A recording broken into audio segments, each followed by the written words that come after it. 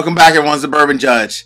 It is Sample Sunday, and I am ready to have some fun with three different brands. So, um, I'm diving into three different brands, and I want to just kind of give an overview about the brands, where they're located, just some history, kind of keep it high level. I'm not diving into like the mash bills and the availability and the price points and all that nonsense, just about the brands and these samples that I got from my patrons, by the way, and thank you for my patrons, um, just to see whether or not is the whiskey good. So just flat out the brands, a little bit of an overview about the brands and whether or not the whiskey is good or not. So these are three different brands I've always wanted to try myself, uh, or at least this version of it, I should say, and um, haven't been able to find them. But luckily, my patrons who are super cool sent me some samples. So I'm like, you know, let me go ahead and get them on the channel. So again, I want to give credit to a lot of my patrons who always send me samples. My buddy uh, Chris H, Terrence, uh, Tom, um, and in this case, Chris Bruno, and my buddy Dennis Z out of Ohio. So, um, thank you, gentlemen, as well as ladies as well, who sent me samples before as well. Thank you so much for always sharing the whiskey with me. All right, we're gonna try to keep this one high level because we have three to do. That's a lot of whiskey. so let's go ahead and start off with uh, this one here. And by the way, I've already poured at least these two. I didn't pour this one, oddly enough, in my infinity bottle, but I did for these two. But we're going to start off with the first one, which is Milam and Greene. So Milam and Greene. So Milam and Greene is actually based out of Texas. Now, what's interesting about them is that they're based out of Texas. Their distillery is based out of Texas, but they actually distill not only in Texas, they also distill in Bardstown, Kentucky. So I think they're doing contract distilling at Bardstown Bourbon Company um, out of uh, Kentucky but their actual distillery itself, their brand new distillery, it is actually based in Texas. Now, what I will say is what's unique about them is two things. Number one, female owned, so it's owned by two different females, and the master distiller her name is Marlene Holmes. So Marlene Holmes, she actually worked before Milam and Greene. She worked for Jim Beam and actually for Booker Noe for 30 years. So I think she knows a thing or two about whiskey. She also worked with uh, one of my other favorite brands, well, th this individual, I should say, Pam Heilmann, the former master distiller from Michter's. So obviously, Marlene, as the master distiller at Milam and Greene, she knows her whiskey, right? She definitely knows her whiskey. What I will say about the second thing about Milam and Greene is that when you think about them, you hear they're based out of uh, out of Texas. You're probably thinking, "Oh, it's probably just like Garrison's brother." Folks, I'm telling you, I've their whiskey is not like Garrison's brothers because they actually age in various rickhouses across four different states and then they blend it all together. So it's not going to taste just like a Garrison's Brother. So don't put it in that Texas whiskey, very deep, rich, kind of knock you out kind of a whiskey. It's it's completely different. That I do know for sure. So that's one thing. All right, let's get into this nose real quick. So Milam and Greene out of Texas, but again they distill as well over in Kentucky and they age your whiskey across four different states and they kind of blend it together. Now, what I'm sampling today is a single barrel. So because they're newer, let's call it brand newer distillery, a lot of their single barrels are actually is actually source whiskey that they're getting from various different places, you know, across the U.S. So this is a single barrel, again coming from uh, Milam and Greene, coming in at 124.14 proof. So thanks again, Dennis, for the sample, my friend. Really appreciate it. Mm. Nice nose, little fruity, slight vanilla, slight caramel, but nice. All right. Cheers, everybody.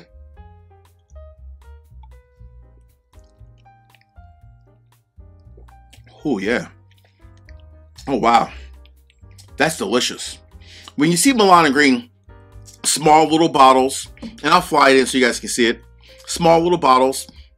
I've always wondered, how are their single barrels? I don't know the age on this. All I know is the proof that 124. But I will tell you, everything from the nose, the fruit notes, the caramel, all that came through the palate, the finish.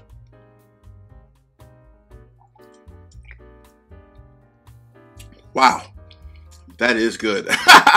the finish, nice, long, and solid. So they have a lot of different products if you look them up online, Milam and Greene. However, I will say, at least for this single barrel, for me, obviously, again, the master distiller, even though she didn't make this one herself, more than likely, I will say she obviously knows whiskey very well because she definitely selected a damn good barrel. That one, Milam and Greene, is absolutely a buy. Great job, by the way, Marlene. Love it. I mean, gosh, I mean, she worked for Jim Beam for 30 years. She has to know whiskey. mm. And I love the fact that it's a female owned distillery as well. That's really cool. Being a father of a girl, a young lady, I love that. So kudos to Milam Greene. Great job there. And I'm looking forward to trying a lot of their whiskey themselves is obviously newer because they've been distilling it over the last few years. So I'm really looking forward to trying their own whiskey, but for at least what they're sourcing right now, that was actually really good. All right.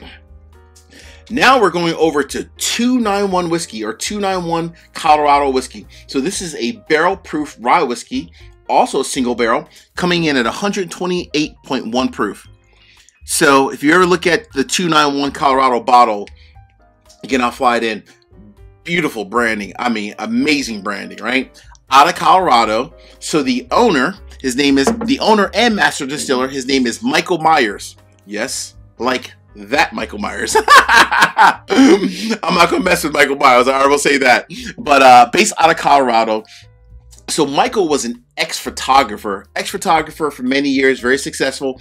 But he grew up in the South, near where they they make a lot of whiskey in various different states like Tennessee and so forth. So he obviously loved whiskey, kind of growing up. And his goal was, you know, once he's kind of done with the whole photography thing, to be able to create his own brand so he wanted to kind of pay homage to like the West, like the old West, where I guess his thought process was like you walk into like an old bar or saloon and you, you say, you know, bartender, I want a whiskey. And someone like the bartender just slams down a bottle like boom, you know. Um, he wanted that to be 291 whiskey. So that was like his his whole thought process. But what's unique about 291 whiskey is that two things. Number one, if you look at their, their website, they have a ton of different bourbon and rye, different finishes. I mean, you name it, they make a lot of whiskey, but a, still a small craft distillery. So they're still very small from a craft standpoint, but they make a lot of different variations. The second thing I will say is that about 291 whiskey is the fact that they are sourcing all of their grains from Colorado as well as the Colorado water, right? You think about all the great H2O that's nice and clean and pure out in Colorado Springs. So they're also getting all their H2O as well, of course, from Colorado. So this should be very unique. Again, this one comes from my good friend Dennis Z, and this is a uh, barrel proof rye single barrel coming in 128.1. All right. So this distillery opened back. I think he said he pulled his first barrel back off in like 2011. So they've been up and running now for 12 years. And I've never actually had this product ever before. Like, never. So really looking forward to this one. Dennis, I appreciate you, my friend. Thank you, buddy. Cheers, everybody.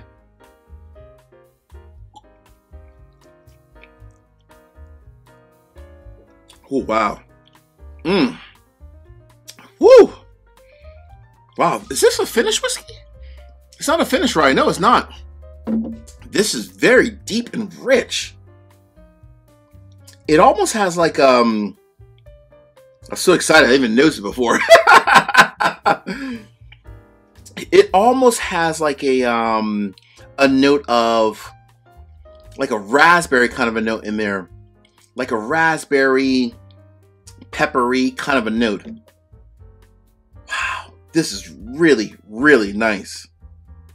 Wow, that's actually See, what, what I love about this is that craft distillery, not your big time Buffalo Trace Heaven Hill.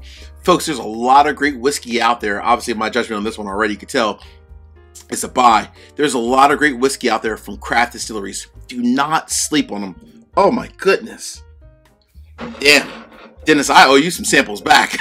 because these two are just amazing. Mm.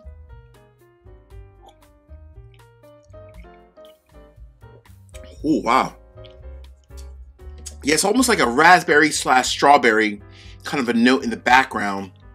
Mixing with, obviously, it is a rye, of course. So a ton of like pepper, a smidge of mint. This is. Damn. What? All right, Dennis, we may need to talk. that bottle is fantastic. Goodness. Mm. Wow that too is getting a buy. Again, I don't know the prices of these, so I'm giving them a buy based off of the quality of the whiskey. But if I had to say how much would I pay for them, because that's probably a good thing to add in, I would say for the Milam and Greene, that to me is probably like a good 80 $85 bottle. Again, I'm not sure the exact price of this single barrel, but that's like a good 80 $85 bottle. This 291 Colorado Rye, woo, that's easily a good $100 bottle. Seriously, and I mean that, right? I mean that because it doesn't, like a lot of times you buy like a $50, $60 bottle, if it's sourced, it's like it's decent, right? In this case, which there's theirs is not sourced, they're making their um the 291 itself. That is absolutely amazing. From the the nose to the palate, all the way to the finish. That is flat out amazing. So I know I'm now in the definitely going to be buying a, a bottle from Milam Greene and absolutely from 291 Colorado whiskey for sure. All right, folks. Before I dive into the last bottle, three quick easy favors. Number one, hit the like button. Number two, drop me a comment. Let me know what are some of your up and coming brands that you're really excited about and or uh, just some craft distilleries that you love maybe like in your neck of the woods let me know some of the brands that maybe i should be on the lookout for as well last but not least please make sure you also subscribe and hit the bell so you get notification each and every time i release new content fair? Cool. All right. Number three. Let's go ahead and pour this one. So this comes from my buddy chris bruno. This is not too far from him. So this is katak I'm sorry, Catoctin Creek. Uh, this is a Roundstone Rye cask proof, so cat or barrel proof, finished in maple syrup, coming in at 117.6 proof. So what do we know about Catoctin Creek? So number one, it was started and owned still to this day by a husband and wife. Uh, the distillery itself is based out of Virginia. So they're based out of Virginia and it's a husband and wife that run it they do everything, which I think is awesome. I don't know if Mrs. Judge and I could could run our own uh, whiskey company, to be honest with you, but let, us let's, let's leave it to uh, the folks over at Catoctin Creek, to that lovely couple. Um, but they're based out of Virginia, husband and wife. The cool thing about them, though, is that they only make rye. So there's no whiskey, there's no bourbons, I should say. No bourbons, no American whiskeys, no single malts. They truly only make rye whiskey. Now, I will say they do finishes, so different finishes. So this one again is finished in the uh, uh, maple syrup uh, cask finish. I know they also have like a, a honey finish as well, so they do like the honey finish, kind of like what Belle Meade uh, is doing, like Nulu and so forth. So they do have that, and they have other finishes as well. So that's pretty cool. All right, let's get into this one. Wow. For a maple syrup finish on a rye whiskey, the nose itself is not as sweet as I thought it would be. To be honest with you, it's not. So the nose has a lot more pepper and mint, more like the rye notes of the whiskey. Maybe they're not leaving it in the maple syrup barrel as long as as other uh, distilleries are doing. But the nose is definitely a lot more peppery, a lot more minty. And you definitely do get the sugar notes, like from that, that maple syrup. You do get the sugar notes, like the, the brown sugar, a smidge of like some, um, even like some leather as well. The nose is really nice, I will say that. All right, Catoctin Creek out of Virginia, husband and wife. I love it. Potentially doing some good things. We shall see. Cheers to each and every one of you.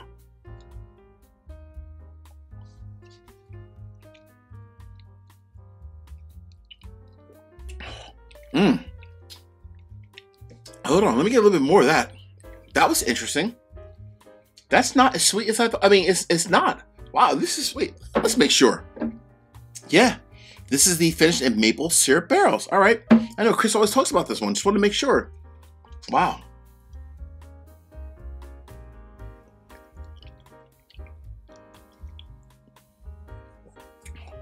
Wow. That is actually really nice. There are a couple things that come to mind.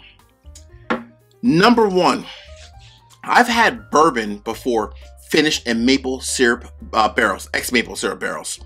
And to me, that's just too much sweetness of the traditional bourbon notes uh, layered in with the uh, maple syrup. But for a rye whiskey, which we all know rye is typically a little bit spicier, a little bit more pepper, more mint for it, because of the rye notes and how uh, spicy it is, the maple syrup, it cuts it nice and just across the board. I don't know the exact price off of this. I think it's probably like a good $75 bottle. If you want a rye that is a good even blend of being, let's call it, you know, spicy, minty, peppery, with just a nice little edge of sweetness to it, please try Catoctin Rye, uh, Catoctin uh, Rye finished in maple syrup barrels. It's not overly sweet at all. And this, oh my gosh, three reviews. You guys know me, I'm always going to be straight up with you, right? At, at, at, the price points I mentioned, I don't know what they are exactly, but at the price points I mentioned, that 70 if it was $75 for this bottle here, man, sign me up all day. That is delicious. I'm actually going to pour some more of this right now. Woo, Chris, I owe you another one. Thank you again, my friend. Hey, folks, until the next time, you guys know me. You know the way I rock and roll. Peace, cheers, and most important, salute. Take care, everyone.